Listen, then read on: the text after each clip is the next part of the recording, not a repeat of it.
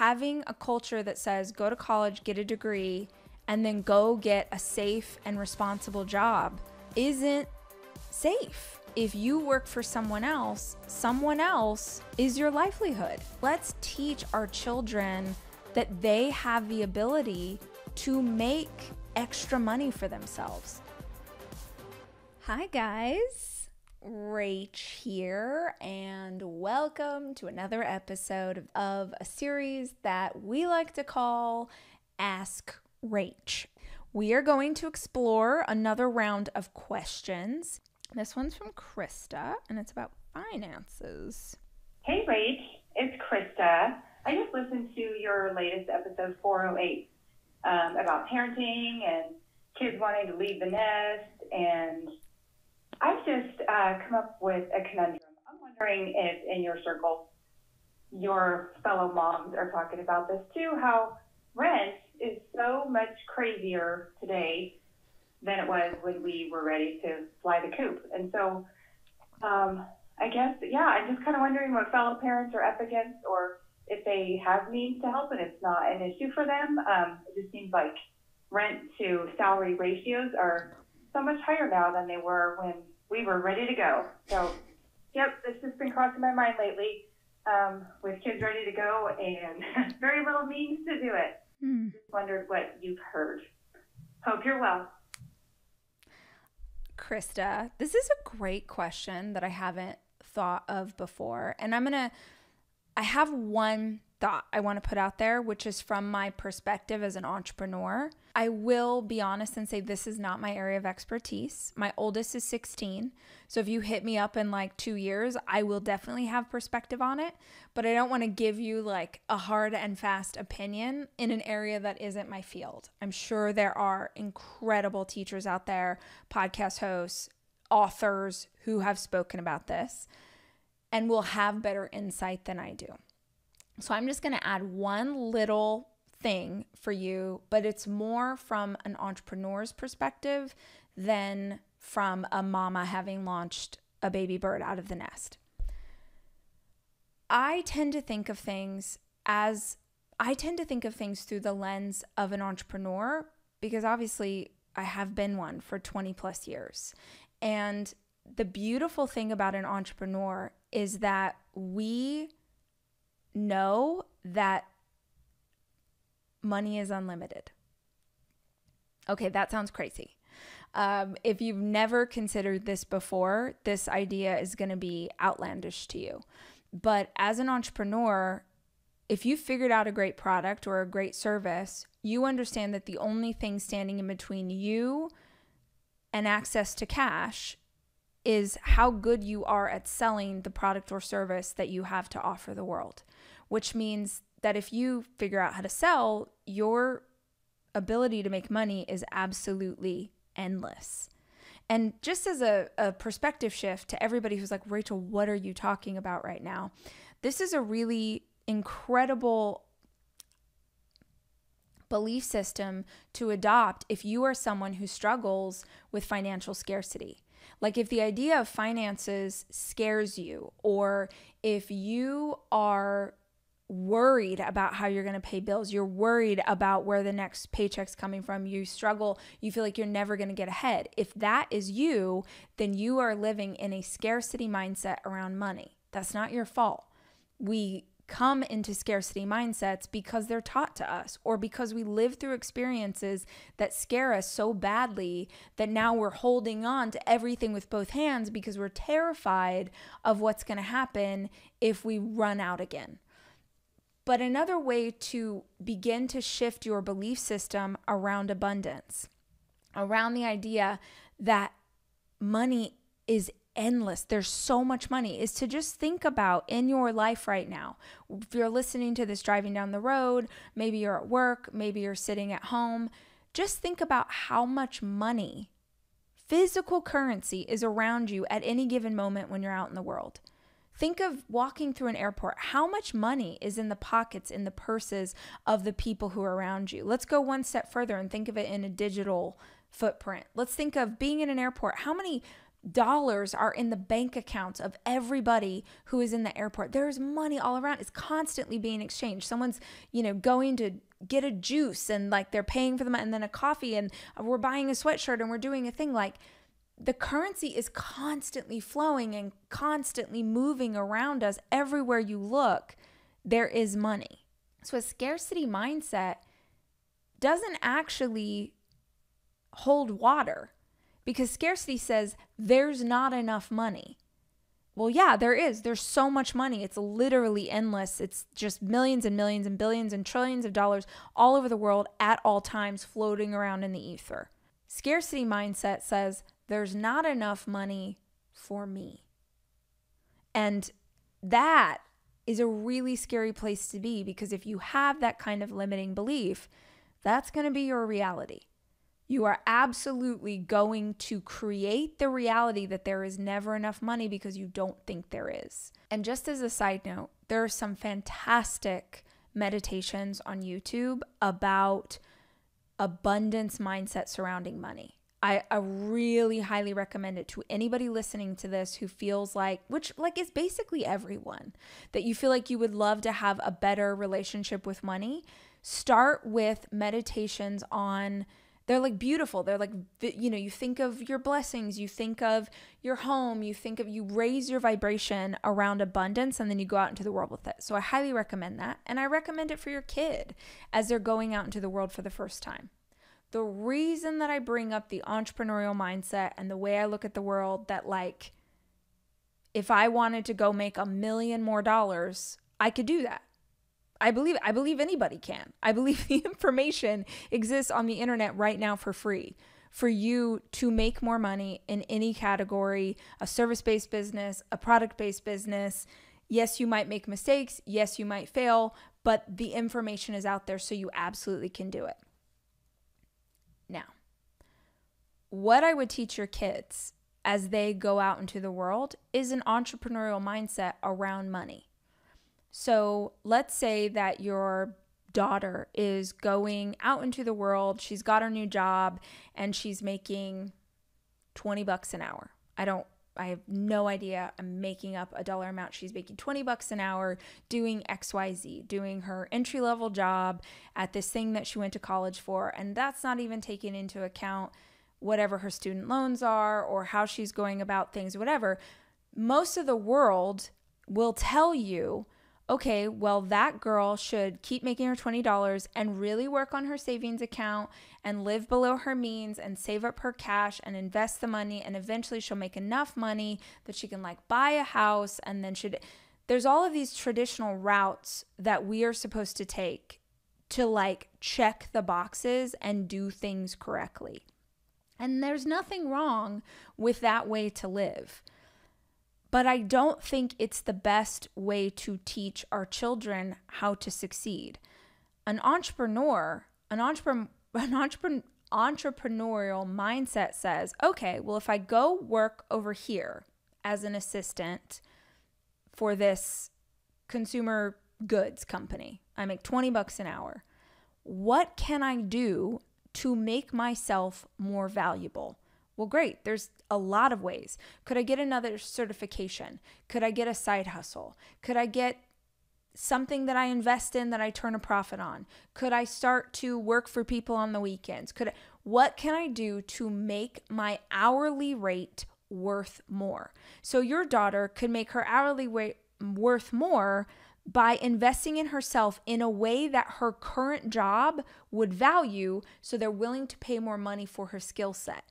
Or what I think is way more value is that your daughter figures out, well, what can I do on the side that makes me an additional X amount of money?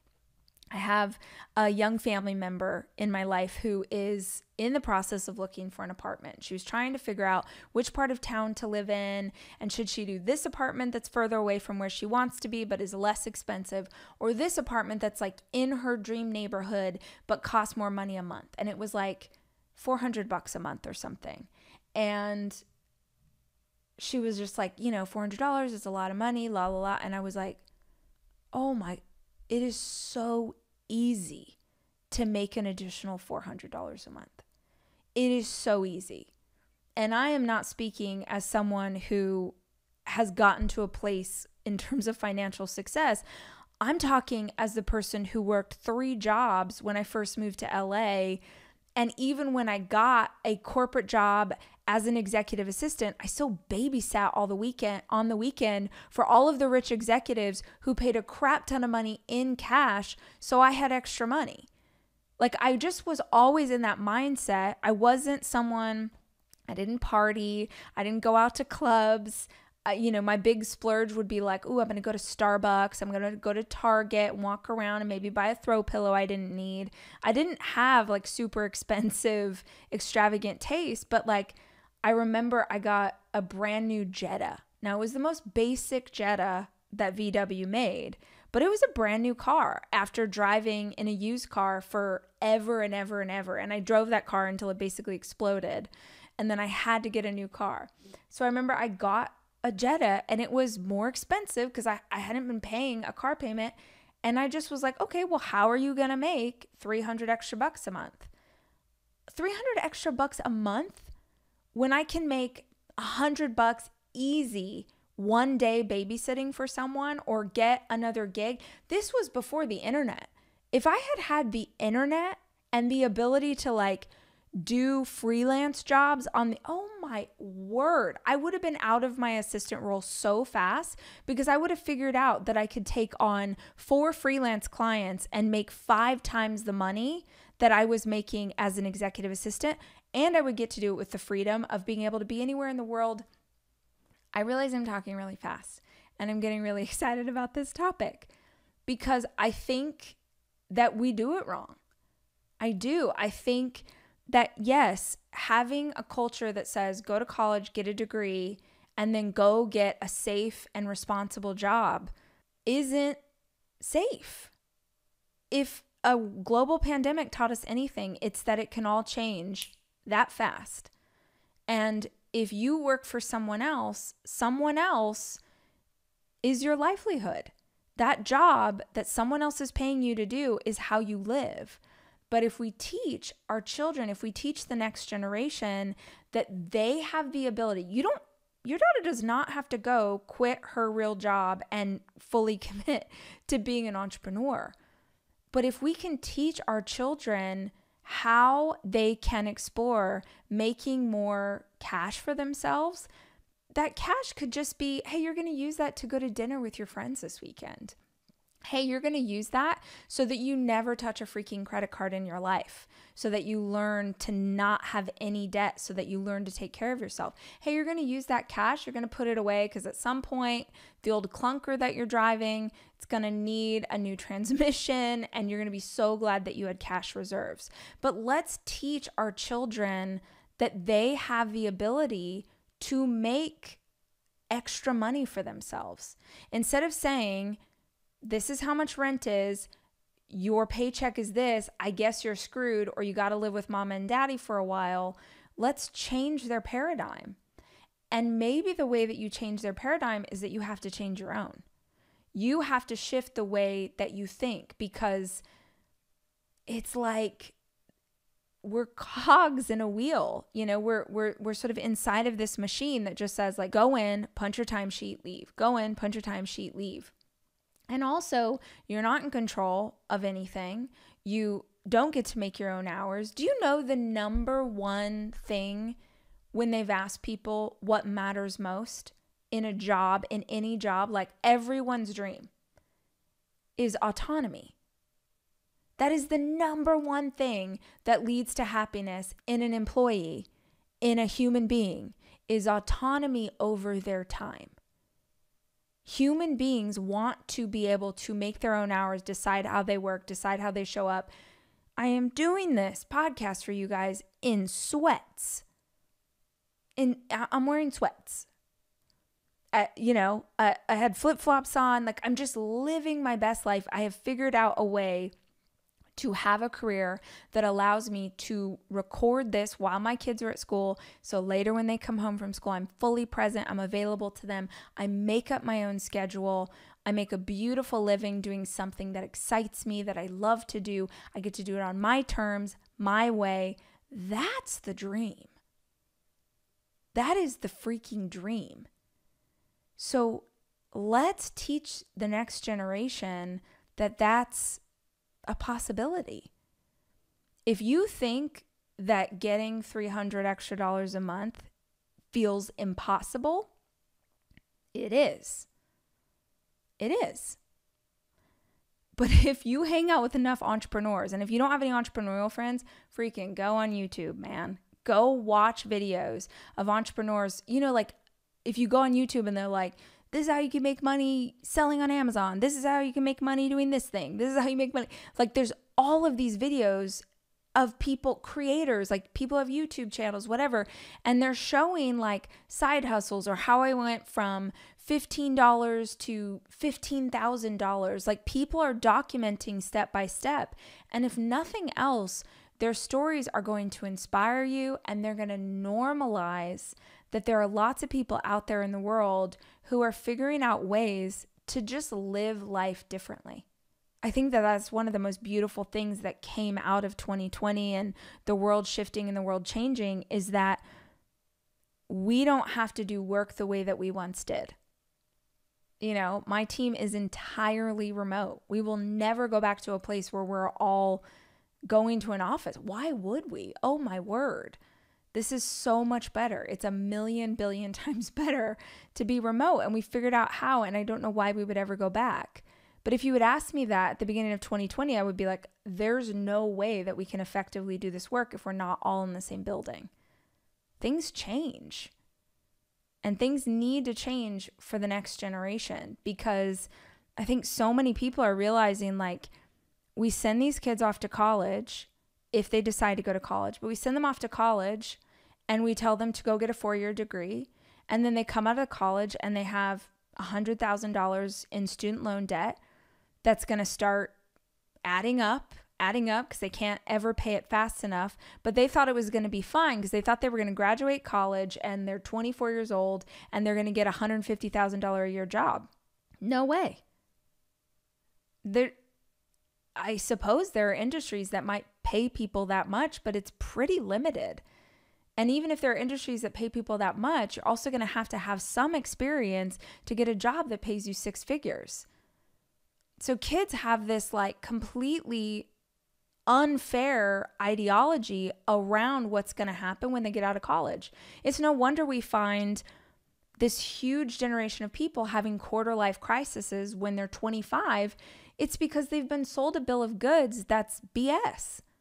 Everybody told them, go do this and then all be set up. It, you know, it's just to the world's just to lay out before you and unfold and everything's to be exactly and you'll be able to pay off these loans that you've taken out in you know the first 18 months and it's like i know people in their 40s who are still trying to pay off their student loans and they have a job that they hate there's a great um, speech by jim carrey if you've never seen it where he's talking about how his father was i want to say his father was like a brilliant musician he said, you know, he was one of the best jazz musicians I've ever heard. I, I for sure paraphrasing the story. And he didn't pursue being a musician because musicians fail. It's a really hard industry to make it in. So his father didn't pursue it and therefore, you know, didn't didn't make it.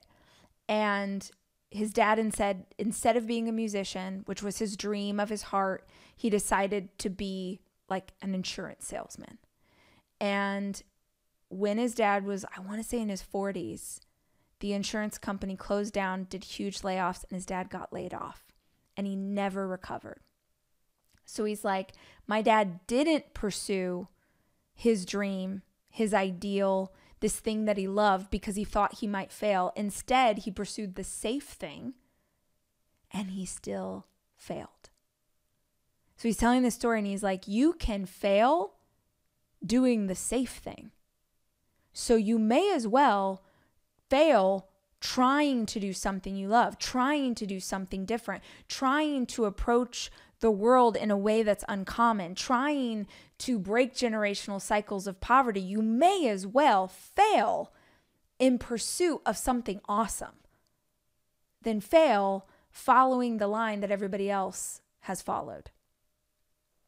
So, probably not the advice you were looking for today, but again, there are lots of incredible teachers who I'm sure can share wisdom on your specific, you know, quandary, which is kids and rent and what do we do. But instead of trying to help our children get by,